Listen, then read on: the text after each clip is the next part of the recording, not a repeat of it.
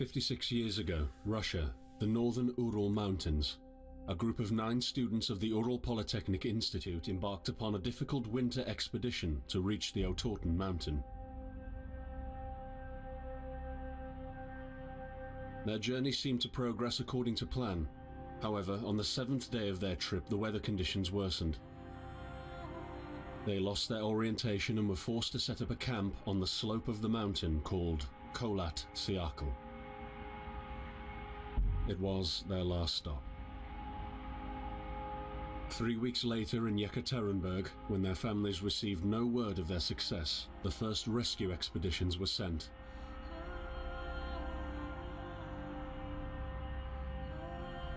On February 25th, 1959, an abandoned encampment was found. The tent was torn down and covered with snow, with all the group's belongings left inside. Further examination revealed it was cut from inside out. The surrounding footprints indicated the crew had fled the tent. They were barefooted.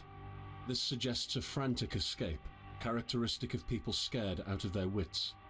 Two sets of prints led to a forested area down the slope. The rescue team found an improvised fireplace and two bodies. They were lying in but their underwear, with cuts and scratches to their limbs, suggesting they had tried to climb the tree in panic. What could terrify them so much? The next three bodies were found scattered a few hundred meters from the first discovery. One of them had suffered a fractured skull, this despite no evidence of a struggle. It took the spring thaw two months later to enable the rescue team to find the rest of the victims. The last four skiers were found buried in a thick layer of ice and snow. Their autopsies led to even more bizarre findings. All of the bodies had severe internal injuries caused by an undetermined force, similar to that of a serious car accident. No external damage nor bruises were visible, besides a tongue ripped from one victim's mouth and a strange orange skin color. Much speculation arose from these puzzling events. Such theories included attack from the local tribesmen, from an avalanche, or animals. Each theory, however, only served to create more questions. The truth behind this tragic course of events remains unexplained to this day. What really happened? Maybe the answer still waits to be discovered, deep under the snow.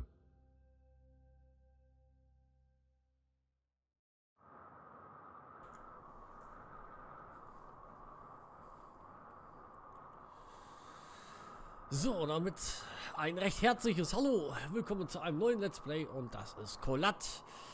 Und äh, ihr denkt jetzt natürlich, wie, was? Neues Let's Play? Äh, mh, ja, ich würde mal so sagen, ich hatte das schon mal als Livestream gebracht und ähm, das lief da nicht so, ähm, wie ich das gerne wollte, ähm, weil es mit diesen neuen Updates und so weiter, da gab es immer noch wieder Probleme und äh, da hatte ich dann einfach kein Problem, das mal weiter zu streamen äh, und Ruckler und Software-Update von GeForce und Windows-Kacke und ah, nee, wenn das dann mal kommt, wenn du es überhaupt nicht gebrauchen kannst, dieser Schrott. Äh, fangen wir nochmal von vorne an. Diesmal mache ich als Let's Play. Und äh, in dem Sinne nehme ich das Spiel komplett in einem durch auf und hau das dann auch komplett in einer Runde raus, bevor es nochmal Dings kommt. Deswegen wundert euch nicht, warum dann die anderen zwei Folgen vom Livestream verschwunden sind. Äh, Gibt es nochmal Neuauflage hier. Und wir schauen uns natürlich jetzt erstmal so ein bisschen um. So, mit der neuen Tastatur, mit der neuen Maus. Bin mal gespannt, wie sich das Upgrade auf diesem Computer macht. Ja, ich halte jetzt mal meinen Mund und wir genießen ja mal so ein bisschen das Gejode von der netten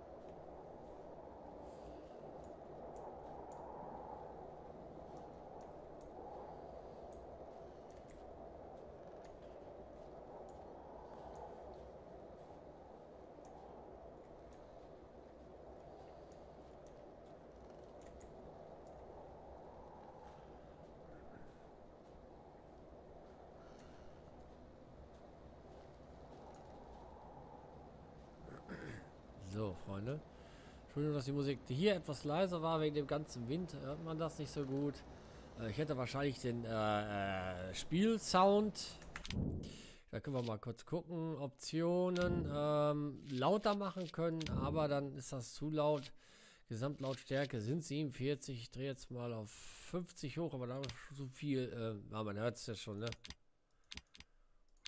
Also lasse ich doch mal doch auf 47 vielleicht unten bleiben müssen äh, beim Bahnhof. Da ist es etwas weniger windstill gewesen. Dann ist das halt nun mal so. Äh, Lautstärke Musik. Äh, da könnte ich dann, hätte ich dann vielleicht mal, komm, machen wir mal auf 15. So.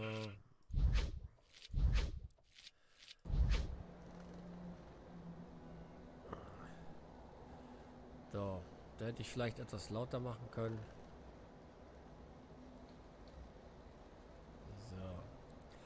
Aber es ist auch noch ein bisschen Gesumme. Wir machen einfach mal weiter. So, von da hinten sind wir gekommen. Das müsste, glaube ich, der ba die Bahnstrecke sein da hinten. Ähm, gehen wir jetzt mal hier durch, weil wir lang müssen. So, wie gesagt, die ersten paar Minuten kenne ich schon. Ich kriege jetzt wieder Gänsehaut. Das ist diese... Jo, ich bin unterwegs. Da haben wir auch schon Fußspuren, die wir folgen müssen. Äh, ja, die ersten Stunde, Stunde wird auf jeden Fall nicht ganz blind sein. Auf jeden Fall nicht blind sein. Kenne ich schon. schon ja, habe ich am Anfang ja erwähnt. Von daher, I'm sorry. Aber ich denke mal, das Let's Play kommt das dann jetzt gerade mal ein bisschen besser. Bevor ich dann mal den nächsten Stream anpacke. Wann das sein wird, weiß ich noch nicht. Jetzt gehen wir mal durch diese komische Höhle hier. Oh. Wo? Da fahren wir nach unten. Au.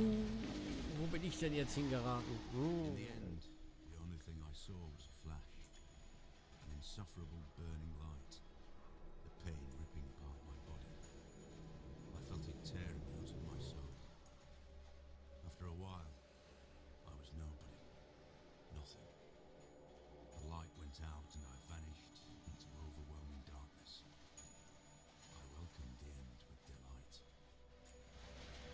Das äh, ist, wenn einem ziemlich kalt wird und äh, du dich kaum noch bewegst und eigentlich nur hoffst, dass du stirbst. Dass, dass diese Qual, ähm, dieses Nicht-Erwachen, aber doch Erwachen, äh, dieses, wo du dich in zwei Welten bewegst quasi.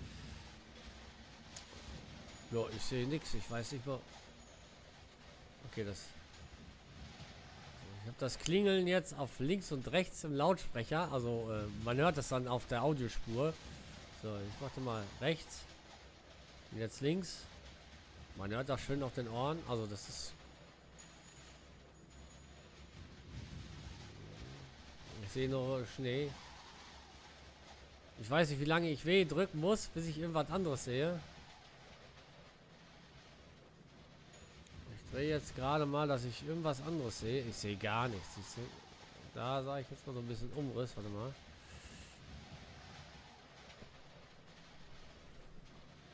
Ah, wenn wir unten dann sehe ich ein bisschen was. Hm. Glaube ich jetzt den gleichen Weg zurück? ich weiß es nicht.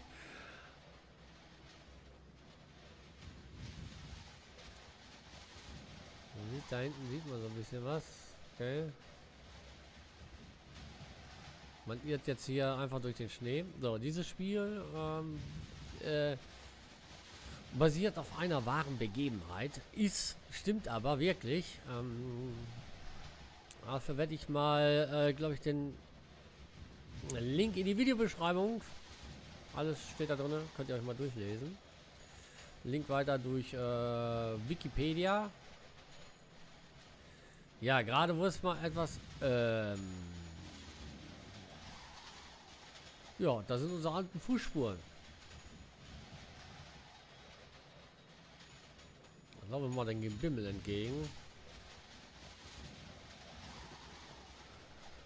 Ah, okay. Also, da haben wir richtig mit dem Gebimmel entgegen. Wir wissen, wo wir lang müssen. Drücke E.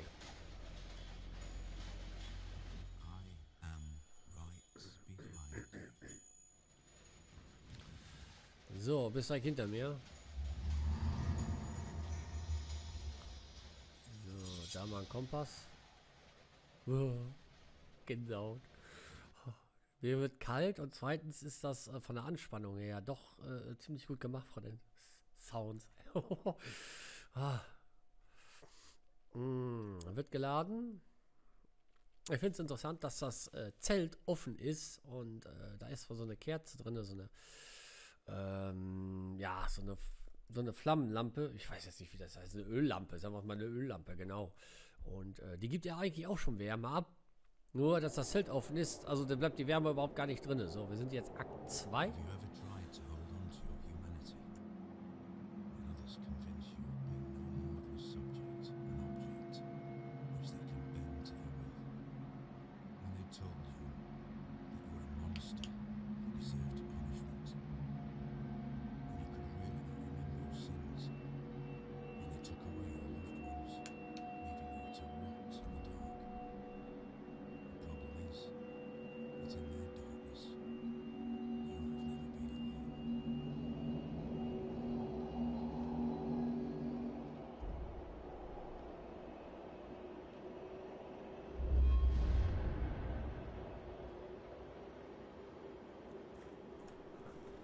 So, äh, mal eben kurz gucken, ob das funktioniert hat mit diesem, äh, ähm, sag mal schnell, wie heißt das gleich?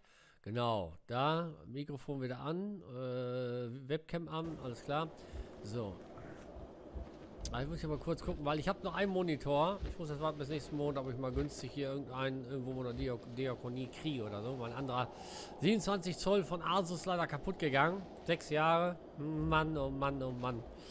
Ja, machst du nix. So, die Fußabdrücke, die wir hier gesehen haben, waren natürlich Bigfoot-like, ne? Also. so, der ist in diese Richtung gegangen. Das machen wir jetzt auch. Haben wir denn noch irgendwas hier, wo wir... Ein verlassenes Zelt auf einmal. Ein verlassenes Zelt.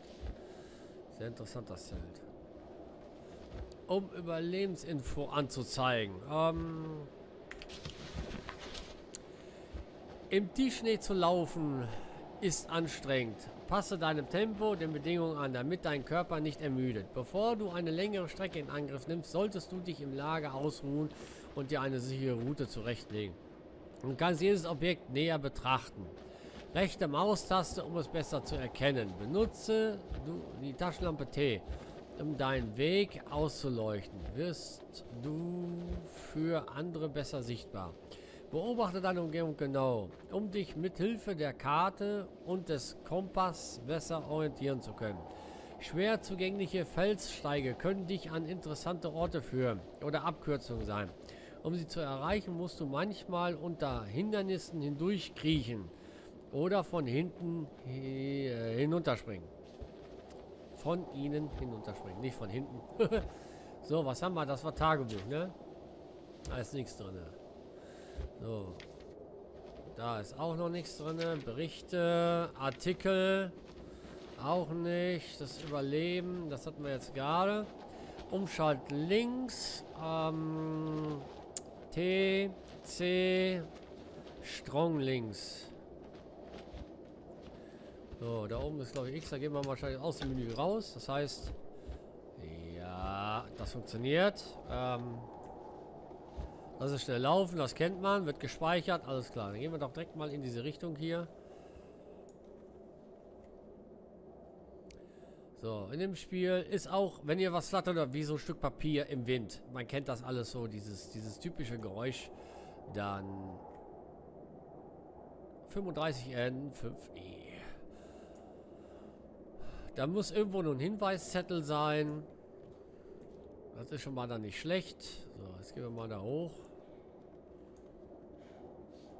Wir wissen auch nicht, wie wir angezogen sind. Wir sehen unsere Klamotten nicht. Es ist einfach hier nur so eine Spielfigur. Einfach nur so ein Pin, der gerade ausläuft und dann halt gewisse Bewegungen macht. So. Da haben wir den Kompass. Man sieht keine Hand. Hier ist ein Zettel. Das meine ich.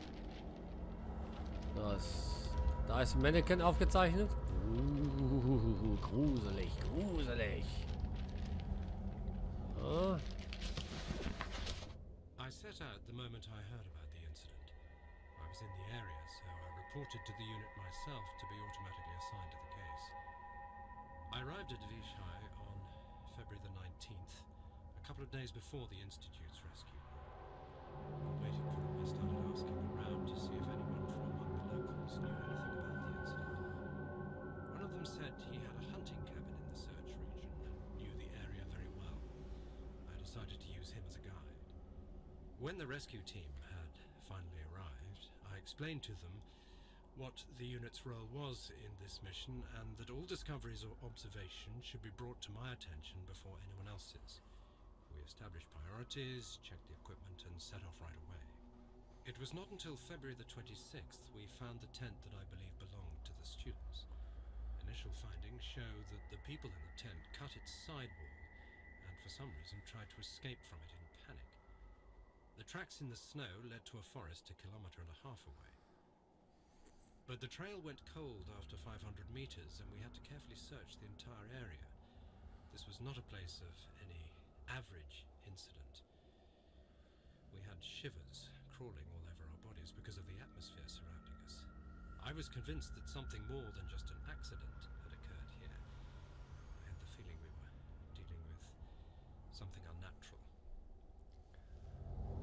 Ja, ich lese mir auch gerade das äh, durch, aber so schnell wie der das hat, war ich nicht. Ich bin erst beim dritten Teil, dritten Kapitel, du kannst das so sagen. Verlor sich die Spur jedoch und wir mussten das ganze Gebiet sorgfältig absuchen. Ja, ähm, ist interessant, dass nach dieser oh, Dingens noch die, äh, dass er noch, was, was sogar, wow.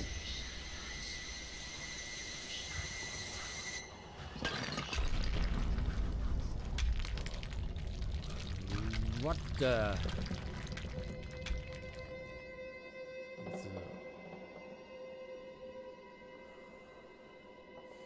Gut, dass wir da jetzt noch nicht drin geblieben sind, sonst wären wir wahrscheinlich irgendwie tot gewesen oder was. Keine Ahnung. Explosion an der Feuerstelle ist doch nicht zu prickeln. So, ich wollte. Wir sind ja. Wir sind von unten hochgekommen. Also gehe ich jetzt mal hier oben hoch. Es klingt so, als wenn ich gerade in den Keller gehe von den Geräuschen her. das ist sehr interessant. Okay, jetzt sind auf einmal. Da oben ist das nächste Zelt. Geil. So, damit er jetzt noch ein bisschen Ausdauer hat. Hier Skier und Skistock.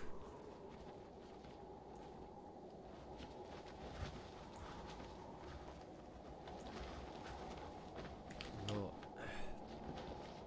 Ein bisschen wegspulen. Ranzoomen geht jetzt, glaube ich, nicht, oder? Nein, auch nicht mit Pfeiltasten.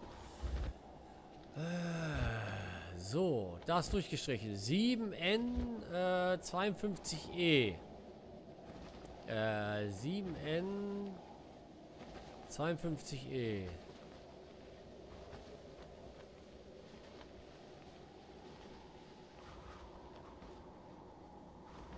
Das ist aber jetzt, ähm, ja, das sind das müssten, glaube ich, jetzt wir sein, glaube ich. Ähm vier, fünf, sechs, sieben, sieben, äh, sieben N 52E. 7N 57 Ah, das muss ja dann hier oben irgendwo sein. 7N52, aber ich habe äh, 60, 9, 51. Müssen wir wohl da hoch? Ich habe keine Ahnung. Das ist gerade so ein bisschen merkwürdig. Das kann ja überall äh, äh, Norden und ich glaube Osten müsste das sein. E.